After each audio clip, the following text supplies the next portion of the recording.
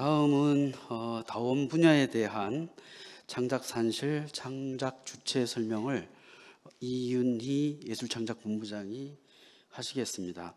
다만 이제 다원 분야로 포괄된 그 기술결합 예술은 우리 위원장님께서 중점적으로 말씀하시는 예술의 지평을 넓혀주는 그러한 역할을 하고 있어서 어, 미래 예술에 대한 기초를 제공하는 그런 예술로 볼 수 있고요.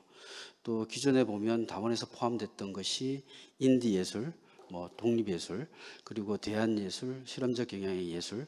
그래서 사실은 예술위원회에서 지원을 함에 있어서 이 학제적인 다원의 정의를 어떻게 내릴 것이냐에 대해서 도 어, 많습니다만 저희들은 어, 기타 기존적인 전통의 장르를 벗어난 어, 같이 심의해서는 좀 불합리한, 불리한 이런 부분들을 모아서 다원예술 영역으로 저희들이 예, 어, 지원하고 있다라고 하는 말을 에, 첨언해서 드립니다. 예, 설명 부탁드립니다. 네, 다시 인사드리겠습니다. 한국문화예술위원회 이윤입니다. 어, 네, 24년도 다운예술 분야 지원 사업에 대해서 설명드리도록 하겠습니다. 사실 앞서서 그 창작 영역이 이제 문학, 시각, 공연, 예술 분야이고 사실 이 사업 구조가 같다 보니까 이제 이 다원예술 분야도 산실과 주체 이렇게 사업들이 나눠져 있고요. 대체적으로 지역 약간 그 지원 조건이나 이런 것들이 좀 비슷해서 좀 간략하게 설명을 좀 드리도록 하겠습니다. 그리고 그 공모 사업 책자 83페이지부터 보시면 자세하게 내용이 나와 있으니까요. 그 부분들을 참고하시면 될 것 같습니다. 23년에 어, 비해서 가장 크게 달라진 점은 이제 사업 구조 개편과 함께 창작 주체라는 그렇게 사업이 새롭게 만들어진 부분입니다. 어, 창작의 과정에 대해서는 제가 앞서서 공통적으로 설명을 드려, 드린 바가 있고요. 어, 산실은 이제 기존에 있는 다원예술 창작 발표 지원 사업이라고 보시면 될 것 같습니다. 그리고 창작 주체에 대해서는 후에 다시 좀 자세하게 설명을 드리도록 하겠습니다.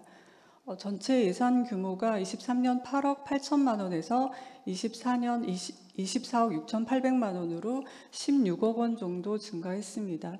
또한 기존 사업 이외에도 기술 결합에 대한 어떤 예술 활동까지 포함해서 사업 범위를 확대해서 지원할 예정입니다. 네, 그러면 창작 산실에 대해서 설명드리겠습니다. 어, 다들 잘 아시겠지만 이제 탈장르, 다매체, 기술 결합, 그 동시대적 가치 탐구 같은 좀 다원적 성격을 가진 기초 예술의 어떤 다양성과 실험성을 확장하는 프로젝트를 지원한다고 보시면 될 것 같습니다. 그리고 유형별 지원 규모로는 어, 총 사업비가 이제 15억 6,800만 원 예산으로 지원을 할 예정이고요. 어, 쇼케이스 형태의 사업은 2천만 원, 그리고 제작 발표 사업은 3천에서 최대 5천만 원까지 지원할 예정입니다. 어, 심의 방법은 이제 그 1차 서류 심의 그리고 2차 인터뷰 심의로 진행되고 심의 기준은 이제 예술성, 충실성, 기대 효과 등에 대해서 살펴볼 예정입니다. 네, 그 창작 주체 사업에 대해서 말씀드리겠습니다. 어, 앞서서도 설명이 여러 차례 됐다시피 이제 핵심 창작 주체를 발굴 및 육성하고 안정적인 활동 여건을 조성을 위한 사업이라고 보시면 될 것 같습니다. 세부 분야는 이제 다원 예술 활동가 그리고 어, 기술 결합 예술 활동까지 포함해서 지원할 예정입니다.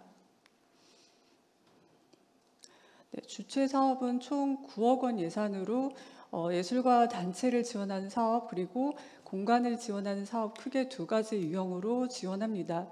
어, 예술가 단체 지원 유형의 경우에는 앞서 그 말씀드린 타장르와 동일하게 이제 5년 이상의 활동 경력과 1회 이상의 공공 지원의 실적이 있어야 합니다.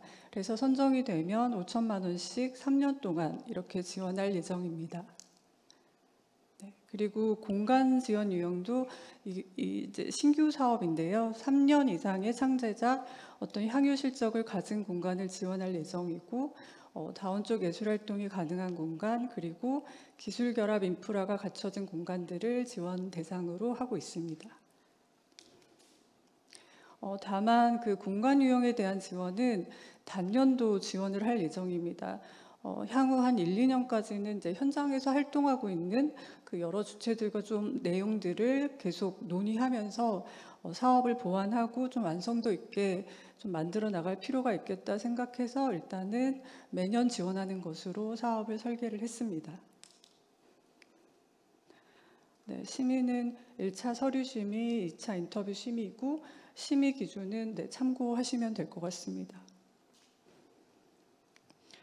네, 그 창작 산실하고 주체 관련해서 사실 이제 필수 제출 자- 자료들이 여러 가지 있습니다. 그래서 공고문을 반드시 좀 확인하시고 신청해 주시고요. 문의사항은 1층에 있는 부스를 활용해 주시면 되겠습니다. 네, 이상으로 다운예술 분야 지원 사업에 대한 설명을 마치겠습니다. 감사합니다.